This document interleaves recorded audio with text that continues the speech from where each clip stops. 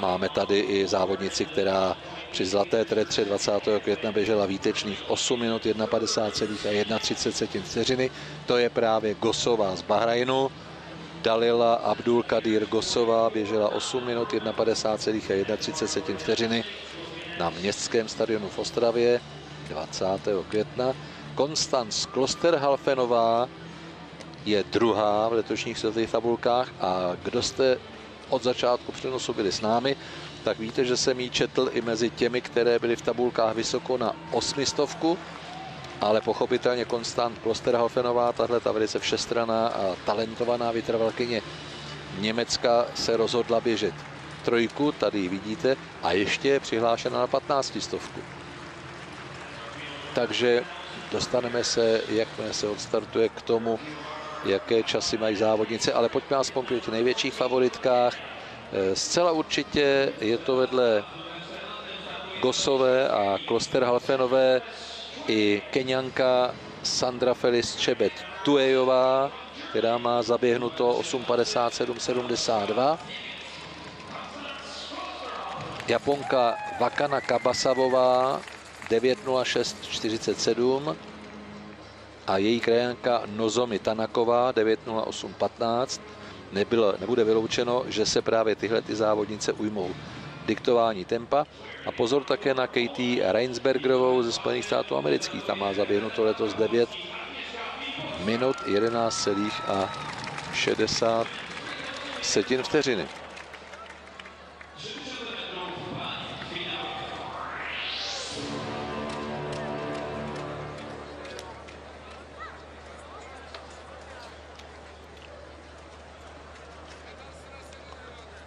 Před dvěma lety vyhrála američanka Mary Kaneová, která přerušila pět šampionátů eh, trvající dominanci keňských vytrvalkyň na této trati.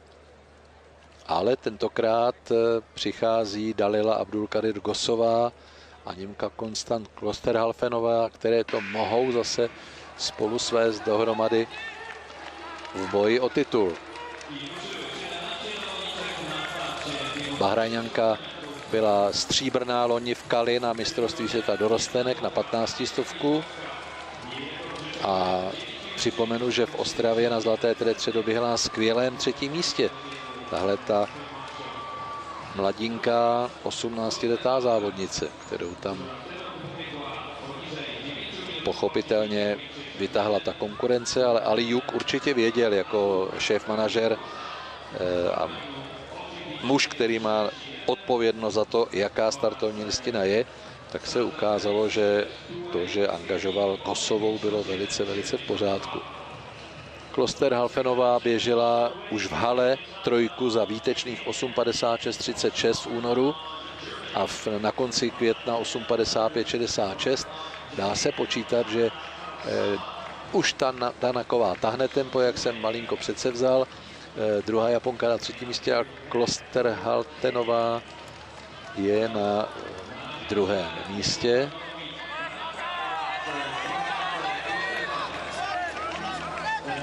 Jak jsem říkal, Kloster Haltenová poběží i 15 stovku, což bude zajímavá kombinace. Tam už se zřejmě eh, rozběh konat bude.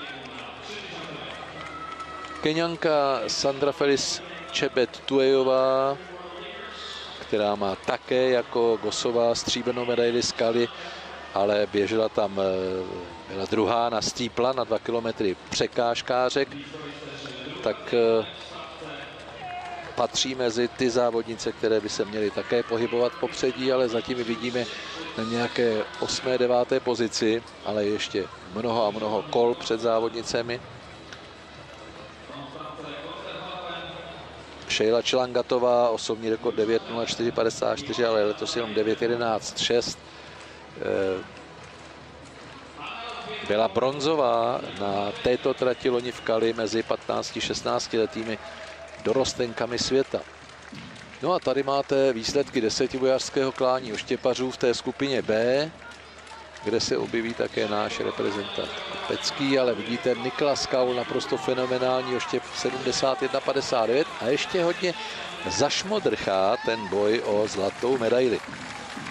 15 stovka je proponována na 21. hodinu, čili za 32 minut by měli startovat deseti bojaři.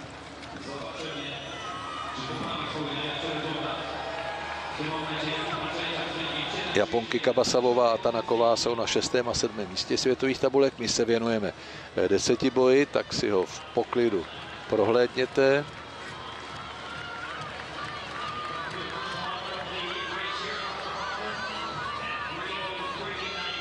Nezapomeňme, že na startu té trojky, kterou se asi budeme za chvíličku snažit opět sledovat, a ne, tady je pořadí deseti bojařů, takže já jsem vám to verbálně povídal, ale takhle oči jsou přeci jenom. A vidíte, první dva na těsno, třetí, čtvrtý na těsno, pátý, šestý na těsno, ale i to sedmé, osmé, deváté místo, je tam prostě o co bojovat. Ondřej Kopecký se bude prát o to, aby se dostal přes 7 tisíc bodů, tenhle svěřenec Jiřího Čecháka, který kdysi vedl tuhle tu disciplínu jako takový šéf trenér a dohlížitel a sám byl vynikající desetibojař i s bratrem Pavlem. Vojčata Čechákovic době, kdy závodili bratři Neckářové, Pernica, Kotík, Sedláček a další a další výborní desetibojaři, kteří vlastně stavěli tu mozaiku kamínku, ze které potom e, přišla ta, ta sláva tria Znělík, Dvořák a Šeberle. Ti to korunovali olympijskými medailemi a světovým rekordem v případě Romana Šeberle.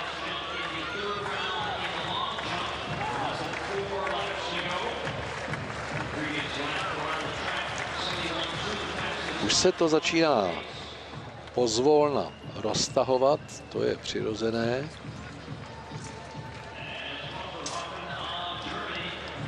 Konstanc Klosterhalfenová už tím, jak umí zaběhnout skvěle půlku, je pro soupeřky nepříjemná eh, ostrou koncovkou, ale teď jí nechají to tempo rozbíhat. Dalila Abdul Karir Gosová, vedoucí juniorka světových tabulek, stará známá ze Zlaté tretry na druhém místě. Tak tam je Sandra Felis Čebet Tuejová z Keně. Její krajanka Sheila Čelangatová také. Jsou tam i etiopské závodnice Bejenu Degefová a druhá etiopka Fotien Tesfajová. Ty jejich časy se zdají až neuvěřitelné, protože Degefová má 9.34 rovných, Tesfajová 9.34.10. To spíš vypadá jako takové ostré tušky, které zapsali ty časy. Podívejte se, jsou teď na pátém, šestém místě a já si myslím, že už v této chvíli je jasné, že běží na podstatně lepší výkony, než které mají uvedeny v protokolu. To může být opravdu spíš taková taktická záležitost, že se uvede, že Degefová a Tesfajová jsou pomalejší, ale ve své realitě budou potom mnohem a mnohem kvalitnější. Z Japonek tam zůstala už jenom Tanaková, to znamená, že pro druhou Japonku Vakane Kabasavovou je to tempo už příliš zajídající se. Takže jsou tam obě Keňanky, Čelangatová a Tuejová, je tam Gosová z Bahrajnu, je tam Klosterhalfenová a jsou tam obě etiopské závodnice Tesfajová a Degefová. Dvě kola do cíle.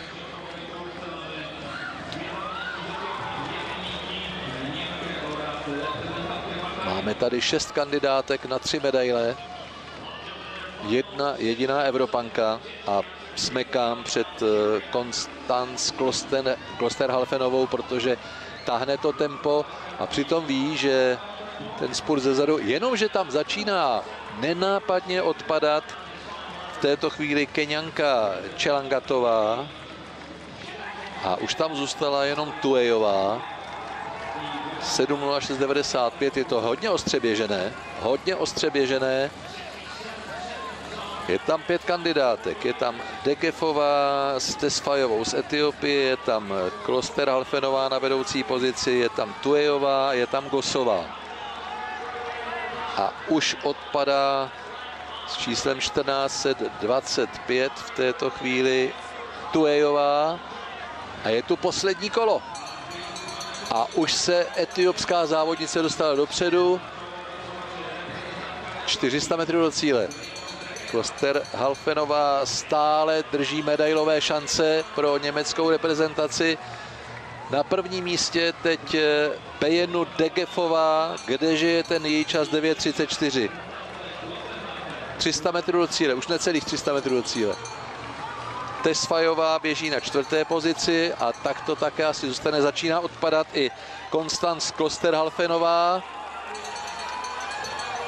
No a podívejte se na to. Bejenu Degefová, která má čas 9.34, si běží pro titul mistrně světa a Klosterhalfenová útočí na Kosovou. Bahrajňanka nemá vůbec jistou medaili, páč zezadu se tam valí i druhá etiopka Tesfajová, takže se díváme na novou světovou šampionku Bejenu Degafová. 12. července jí bylo 17 let a dává si krásný dárek 8.41.77. Ať mi nikdo nevykládá, že by 9.34. Druhá doběhla nakonec Gosová a třetí Klosterhalfenová. Výtečné časy pro všechny.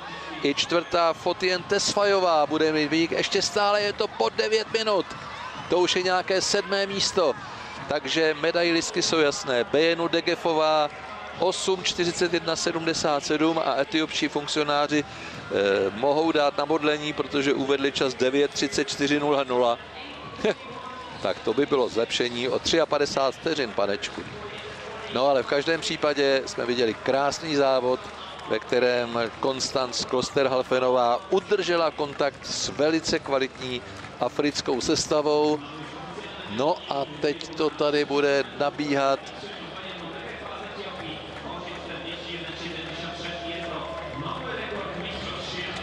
Máme tedy další medailistky.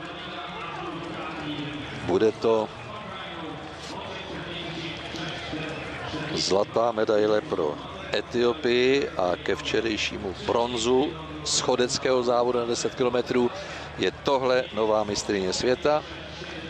Na druhém místě Bahrajn zásluhou Dality Abdul Kadir Gosové. No a Konstanc Kloster-Halfenová má zlatou medaili. Němky měli zlato v kouli a teď tedy bronz na 3 kilometry. Takhle to dopadlo na té trojice. Degefová oficiálně 8.41.76 a pozor, je to nový rekord šampionátu, ten starý držela Linli Žangová ze Soulu 1992. Takže po 24 letech se mění rekord šampionátu po Bukověckém kouli a Kvemojovi na 10 kilometrů. První rekord šampionátu v provedení žen. A tady máme Australana Roupra. Žangová tehdy běžela 8.46.86, takže nový rekord šampionátu Degefové. Gosová 8.46.42, národní rekord. Klosterhalfenová 8.40.74, národní rekord. Pochopitelně v té kategorii do juniorského věku. 7,75 pro Roupra, ten zatím 7,88 a třetí místo, bronzová medaile pro Australana. Je to tak, že opravdu jenom šest nejlepších skáče čtvrté pokusy a to je konečná. 7,91